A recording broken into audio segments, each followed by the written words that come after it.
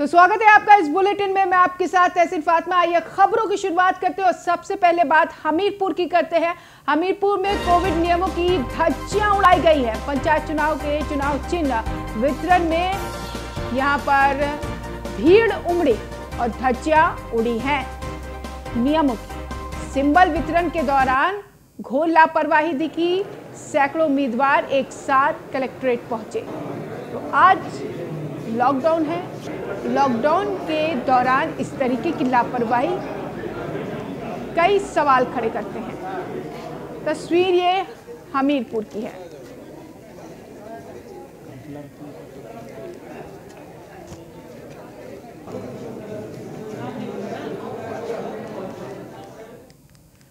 तो कोरोना की चेन तोड़ने के लिए यूपी में आज लॉकडाउन बिना वजह घर से बाहर निकलने की इजाज़त नहीं है। सोमवार सुबह सात बजे अनलॉक यूपी होगी। लखनऊ में 24 घंटे के भीतर 5,913 पॉजिटिव केस सामने आए हैं। अयोध्या में रामनवमी पर उत्सव नहीं होगा।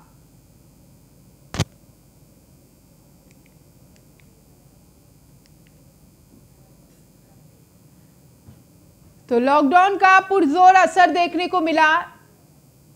चौतरफा पुलिस प्रशासन ही दिखी लेकिन लोग घर में ही दुबके रहे। क्योंकि कोरोना का खतरा बढ़ रहा है इसको देखते हुए ये फैसला लिया गया और लोगों को भी समझने की बहुत ज़्यादा ज़रूरत है। उत्तर प्रदेश में कोरोना संक्रमण की रफ्तार तेज़ी से बढ़ने लगी। इसकी चेन को तोड़ने के लिए पूरे राज्य में रविवार यानी आज टोटल लॉकडाउन लगाया गया। गोरखपुर, अलीगढ़, लखनऊ, मेरठ, आगरा की तस्वीर आपके सामने है, जहाँ पर वीकेंड लॉकडाउन का सख्ती से पालन किया जा रहा है। प्रशासन पूरी तरीके से मुस्तैद है और इसका पालन कराने के लिए सड़कों पर तैनात है। कोरोना संक्रमण लगातार बढ़ रहा है। कोरोना का ये स्ट्रेन भयावह है, जिसको देखते हुए सरकार ने बड़ा फैसला वीकेंड लॉकडाउन का लिया है। उत्तर प्रदेश में रविवार को लॉकडाउन लॉकडाउन के समय सड़कों पर सन्नाटा पसरा दिखाई दिया।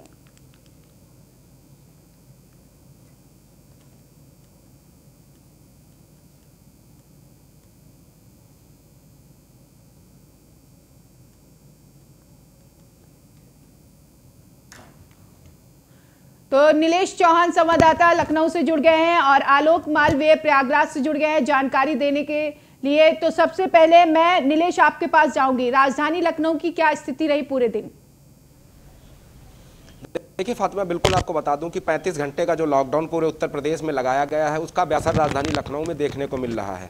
वहीं अगर हम बात करें 35 घंटे के लॉकडाउन को लेकर तो कहीं ना कहीं राजधानी में नगर निगम और जिला प्रशासन की टीमें सड़कों पर उतरी हुई हैं। करीब डेढ़ टीमें अलग अलग नगर की गठित की गई हैं जो राजधानी के विभिन्न हिस्सों में जाकर सैनिटाइजेशन का काम करेंगे। 10 बजे से ये अभियान दस नब्बे चौराहे से शुरू किया गया था। उस समय मंडला आयुक्त रजत कुमार वहाँ पर मौजूद थे लखनऊ के प्रभारी डीएम मौजूद थे वहाँ पर। उसके अलावा नगर आयुक्त अजय द्विवेदी के नेतृत्व में टीमों को वहाँ से रवाना किया गया है ताकि जो कंटेनमेंट जोन है राजधानी के वहाँ पर सैनिटाइजेशन का काम कराया जा सके। हम्म। वहीं अगर हम बात करें राजधानी की स्वास्थ्य व्यवस्थाओं की तो राजधानी में व्यवस्थाएँ देने के तमाम बड़े दावे किए जा रहे हैं। हालाँकि आज भी तमाम अस्पताल अस्पतालों की तस्वीरें सामने आई है जहाँ पर ऑक्सीजन की कमी है। ऑक्सीजन की मारामारी चल रही है लंबी लंबी लाइनें लगी हुई हैं।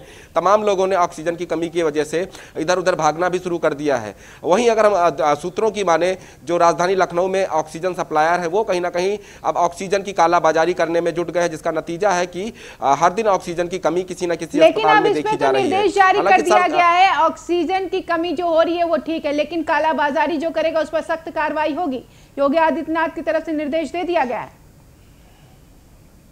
देखिए, सीएम के सख्त आदेश हैं, उसके बावजूद भी जो अधिकारी हैं, वो कहीं ना कहीं जमीनी स्तर पर नहीं उतरते हैं, ज़मीन पर उतरकर निरीक्षण नहीं करते, जिसका नतीजा है कि जो ऑक्सीजन की कालाबाजारी करने वाले माफिया हैं, वो कहीं ना कहीं राजधानी लखनऊ में सक्रिय नज़र आ रहे हैं, जिसका नतीजा है कि तमाम अस्पतालों में ऑक्सीजन की कमी है। वही अगर हम बात करें पैंतीस घंटे के लॉकडाउन की तो अलग अलग चौराहों का जायजा आज सुबह न्यूज़ वन इंडिया की टीम ने लिया था, जहाँ पर पूरी तरीके से जो कोविड गाइडलाइन का है प्रोटोकॉल है, उसका पालन करते हुए पुलिस दिखाई दी पब्लिक हालाँकि सड़कों पर ना के बराबर दिखाई दी, जो इक्का दुक्का लोग निकल रहे थे, पुलिस उनसे भी पूछताछ कर रही थी, जो बेवजह निकले थे, उनके चालानी कार्रवाई भी की गई। तो राजधानी में जो लॉकडाउन की प्रक्रिया है, जो लॉकडाउन का प्रोटोकॉल है, उसका पालन कराने के लिए सख्ती से पुलिसकर्मी भी पेश आ रहे हैं। वहीं जनता की अगर हम बात करें तो जनता ने दो दिन पहले ही खुद को लॉकडाउन कर लिया था, क्योंकि लखनऊ के जो व्यापार मंडल के अध्यक्ष हैं, जो व्यापार मंडल के सहयोगी लोग हैं, उन लोगों ने भी पहले से ही ऐलान किया था कि लखनऊ की जो बड़ी बाजारें हैं, उनको हम डेट टू डेट बंद करेंगे।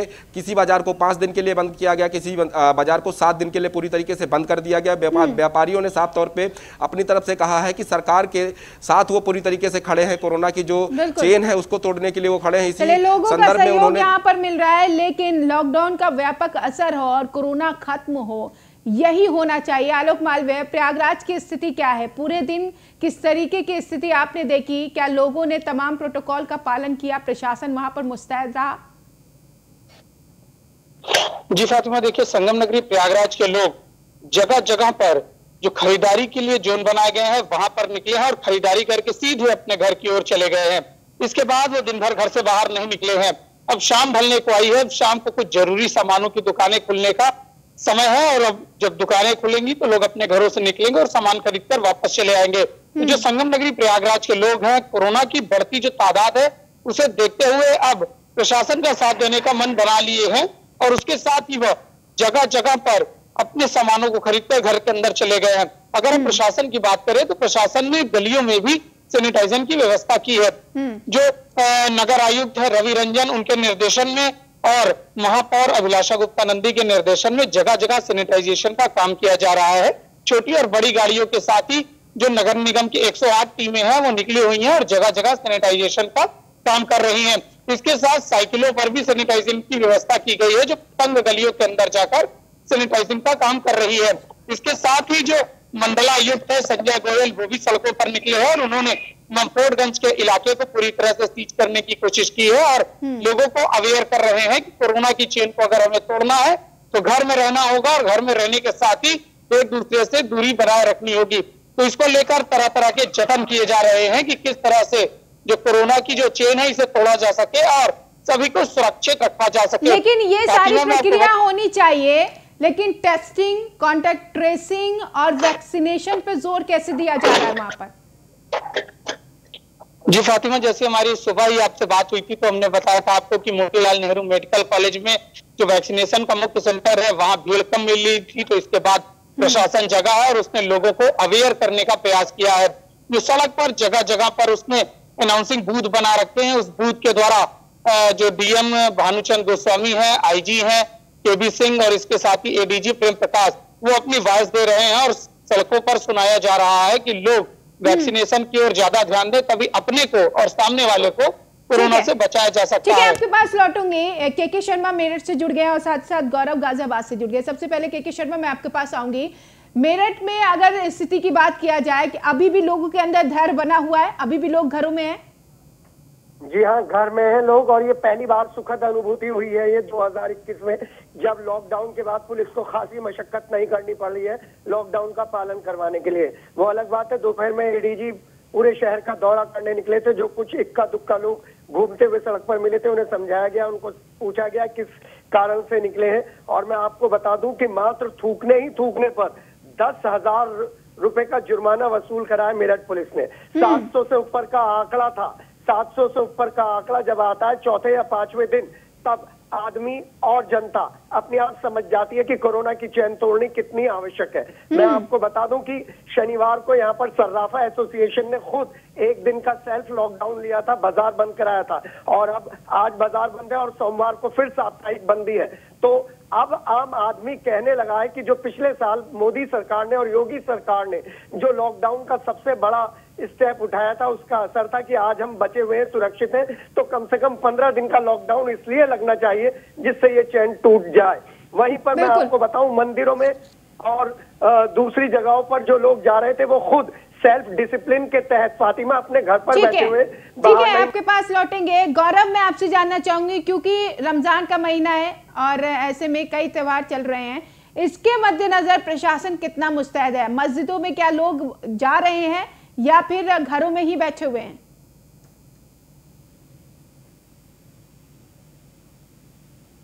गौरव।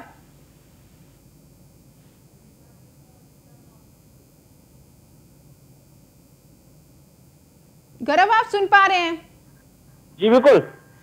गौरव क्योंकि त्यौहार का सीज़न है और ऐसे में रमज़ान का महीना भी और रोजा भी खुलने वाला है बात अगर लोगों की करें नमाज़ के दौरान क्या कोई लोग यहाँ पर निकलता हुआ आया मस्जिद में जाता हुआ नज़र आया जिसे पुलिस प्रशासन ने समझाया? हो जी बिल्कुल देखिए गाजियाबाद की यदि बात करें तो काफ़ी ऐसे लोग देखने को मिले सड़कों पर जो अनावश्यक रूप से सड़कों पर केवल देखने के लिए किस तरीके का माहौल है किस तरीके की सड़कें हैं। और जब उनसे हम लोगों ने भी बात करी पुलिस के लोगों ने बात करी तो उन्होंने बताया कि नहीं मेडिकल दवाइयाँ लेने जा रहे हैं लेकिन उनसे जब पर्चा मांगा गया तो पर्चा नहीं था उनके पास। ऐसे काफ़ी सारे लोग भी थे जो लॉकडाउन का पालन नहीं कर रहे थे उनके पास। उन पर सही से चालान किया गया। वही दूसरी तरफ़ यानी कि की- कार्रवाई देखी जा रही है और लोगों को भी बहुत ज़्यादा समझना होगा। गौरव शुक्रिया। आलोक मालवीय आपका भी शुक्रिया। के के शर्मा आपका भी शुक्रिया। नीलेश बने रहिए आपके पास लौटेंगे। सीधा आपको बताते हैं कहाँ कितने कोरोना के केस मिले हैं। ग्राफिक्स के ज़रिए आप थोड़ी जानकारी लीजिए। लखनऊ में कोरोना के 5,913 नए केस मिले हैं। प्रयागराज की अगर बात किया जाए तो कोरोना के 1,977 नए केस पाए गए हैं। कानपुर नगर में कोरोना के 1,826 नए केस मिले हैं। वाराणसी में एक नए केस मिले मेरठ में भी कोरोना के 748 नए केस मिले हैं। गोरखपुर में भी कोरोना के 723 मिले हैं। वहीं झांसी में भी 703 कोरोना के केस मिले हैं। मुरादाबाद में छह कोरोना के नए केस मिले हैं। बलिया में कोरोना से 508 लोग संक्रमित हुए हैं। गौतम बुद्ध नगर में भी 402 कोरोना के केस मिले हैं। गाजियाबाद में भी 250 कोरोना के नए केस पाए गए हैं।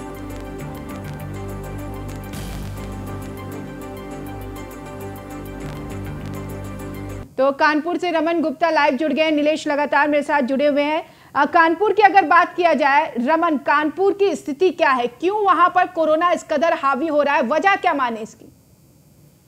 जी बिल्कुल आपको बता दें कि फातिमा जिस तरह से लगातार कोरोना के केसेस कानपुर में बढ़ रहे हैं हम्म। कहीं ना कहीं चिंता का भी विषय है। जिस तरह से लोग पहले कोरोना जो गाइडलाइन थी जो सरकार लगातार कह रही थी कि दो गज की दूरी बनाकर रखे मास्क लगाकर चलिए। पहले लोग इसको पूरे हल्के में लिए हुए थे। कहीं ना कहीं जो इवेंट्स थे उसमें भी लोग जा रहे थे लगातार घूमने का भी प्रयास कर रहे थे। लेकिन जिस तरह से केसेस लगातार बढ़ रहे हैं 24 घंटे की बात की जाए तो करीबन 1900 से ज़्यादा केसेस कानपुर में सामने आए। जिसके बाद जो हालात है वो बेहद गंभीर हैं। संडे को आज जिस तरह से लॉकडाउन लगाया गया है लोग अब इतने चिंतित हैं कि अपने घरों पर हैं क्योंकि जो स्वास्थ्य सेवाएँ हैं कानपुर में वो पूरी तरह से धड़ाम हो गई है। ना ही कानपुर के सीएमओ फ़ोन उठा रहे हैं ना ही जिलाधिकारी फ़ोन उठा रहे हैं ना ही कोई भी बड़ा अधिकारी कुछ भी बोलने को तैयार है। और सबसे बड़ी बात यह है कि जो सरकारी अस्पताल हो या प्राइवेट अस्पताल किसी में भी बेड की सुविधाएँ नहीं है और जो तो इसका ऑक्सीजन मतलब सिलेंडर्स ये है की कि बात आ रही सरकार गंभीर है लेकिन प्रशासन गंभीर नहीं है। जी बिल्कुल फातिमा जिस तरह से सरकार लोगों को चेता रही है लगातार लोगों से बात भी कर रही है अप- माध्यम मीडिया के माध्यम से भी लोगों को चेता रही है कि अपने घरों पर रहिए। जो लेकिन जो स्वास्थ्य सेवाएँ हैं वो बिल्कुल धड़ाम हो चुकी हैं जो अधिकारी हैं वो बिल्कुल निरंकुश है ना ही बात करने को तैयार है ना ही कुछ। और बात अगर हालात कानपुर की की जाए कानपुर के हालात ऐसे हैं कि आए दिन जो केसेस है उनमें बढ़ोतरी हो रही है। लेकिन जो मरीज़ हॉस्पिटल्स जा रहे हैं हमने एक वीडियो भी दिखाया था जिसमें कि एक मरीज़ को जो सिलेंडर लगाया गया था वो कहीं ना कहीं पूरी तरह से धड़ाम था उसमें कोई भी ऑक्सीजन नहीं था पानी से भरा हुआ सिलेंडर था जो वीडियो में भी बोल रहा था। लगातार जिस तरह से मरीजों की संख्या बढ़ती जा रही है ये कहीं ना कहीं बड़ा विषय है जो प्रशासन है। तो क्या कहीं रमन वहाँ पूरी भी ऑक्सीजन सिलेंडर की कालाबाजारी की जा रही है? किसी तरीके की कोई धांधली नज़र आ रही है? जी बिल्कुल आपको बता दें कि कुछ दिन पहले कानपुर में रेंडिन सीरम जो आवश्यक इंजेक्शन है उसकी भी कालाबाजारी का मामला सामने आया था। उसके बाद जो ऑक्सीजन सिलेंडर है जिसकी कीमत एक हज़ार से लेकर पंद्रह सौ तक है वो अब कहीं ना कहीं तीन से चार हज़ार रुपए में बिक रहा है। तो इसकी भी कालाबाजारी सामने आई है। जिसका संज्ञान खुद जिलाधिकारी ने लिया है और साफ़ तौर पर सरकार कह रही है जो कालाबाजारी करते हुए पकड़ा जाएगा उसके विरुद्ध कार्रवाई की जाएगी। लेकिन जो कालाबाजारी लोग कर रहे हैं वो कहीं ना कहीं अब एक बड़ा चिंता का विषय है फातिमा बिल्कुल बिल्कुल। इस पर प्रशासन को बहुत ज़्यादा ध्यान देने की ज़रूरत है। नीलेश वहीं अगर लखनऊ की बात किया जाए राजधानी लखनऊ की स्थिति क्या है? अगर मेडिकल व्यवस्थाओं की बात किया जाए तो। देखिए फातिमा अंदाज़ा इसी से लगाया जा सकता है कि सरकार कितनी ज़्यादा गंभीर है। एक और जहाँ सूबे के मुख्यमंत्री योगी आदित्यनाथ खुद कोरोना पॉजिटिव है उसके बावजूद भी वो वीसी के माध्यम से तमाम जिम्मेदार अधिकारियों को दिशा निर्देश दे रहे हैं ताकि प्रदेश की जनता को हर वो सुविधा मुहैया कराई जा सके जो कोरोना संकट काल में जिसकी जनता को ज़रूरत है। सरकार अपने अपने स्तर पर संजीदा है गंभीर निर्णय भी ले रहे हैं उसके बावजूद भी जो जिम्मेदार अधिकारी हैं वो कहीं ना कहीं अभी भी हिला हवाली कर रहे हैं। अपने दफ्तरों से बाहर निकलना नहीं चाह रहे हैं जिसका नतीजा है चाहे वो गैस की काला ऑक्सीजन गैस की कालाबाजारी का मामला हो या फिर अस्पतालों में मरीजों को भर्ती ना किए जाने का मामला हो समय पर एंबुलेंस ना उपलब्ध किए जाने का मामला हो या फिर शमशान घाट में प्रॉपर लकड़ी की व्यवस्था ना हो इन तमाम चीज़ों को लेकर जो अधिकारी हैं वो अभी भी पूरी तरीके से लापरवाह हैं जिसका नतीजा है कि इन अधिकारियों की लापरवाही से आए दिन दो चार लोग अपनी ज़िंदगी से हाँ, जान गंवा देते हैं। तो ऐसे में ये सवाल उठता है कि मुख्यमंत्री के निर्देशों का भी जब ये अधिकारी पालन नहीं करेंगे तो आम जनता को कैसे ये भरोसा दिलाया जाएगा कि जब वो किसी गंभीर हालत में अस्पताल पहुँचेंगे तो उनको इलाज मिलेगा। मुख्यमंत्री का एक और दिशा निर्देश है हैं। कि नॉन कोविड पेशेंट जो है सामने काफ़ी दिक्कतें भी आ रही होंगी नीलेश। आपके पास लौटेंगे मुबीन जालौन से जुड़ गए हैं जानकारी देने के लिए जालौन की। तो अगर जालौन की स्थिति की बात किया जाए मुबीन तो वहाँ पर अगर मेडिकल इंफ्रास्ट्रक्चर की बात किया जाए तमाम टेस्टिंग की बात किया जाए ट्रीटमेंट की बात किया जाए तो कैसी वहाँ पर दुरुस्त है या फिर लापरवाही वहाँ पर भी देखी जा रही है?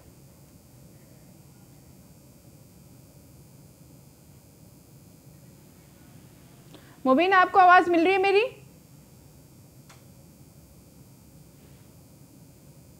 चलिए, मुझे लगता है संपर्क नहीं हो पा रहा है। मुबीन से दोबारा संपर्क करेंगे, जानकारी लेंगे जालौन की।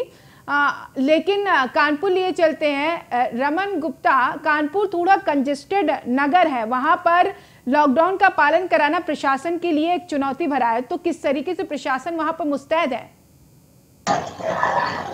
जी बिल्कुल फातिमा आपको बता दूँ कि लॉकडाउन का जो पालन है वो तो पुलिस करा रही है और सैनिटाइजिंग की भी व्यवस्था भी लगातार कानपुर के हर गली चौराहों पर की जा रही है।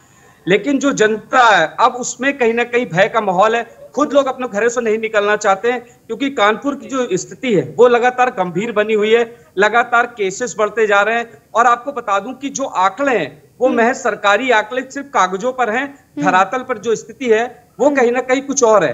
आपको बता दें कि लगातार केसेस भी बढ़ते जा रहे हैं मरने वालों की संख्याएँ भी बढ़ती जा रही हैं और जहाँ पर भी ये लोग जो ले जाए जा रहे हैं जलाए जा रहे हैं वहाँ कहीं ना कहीं उसकी जो स्थिति है वो बेहद गंभीर है। डेली करीबन 50 ऐसी अ, 50 यानी की आपके कहने का मतलब ये अव्यवस्थाएँ बिखरी हुई है लेकिन उस पर संज्ञान लेने वाला कोई नहीं है कोई अधिकारी नहीं है। आ, मैं मुबीन के पास जाऊँगी। मुबीन जालौन की स्थिति कैसी है?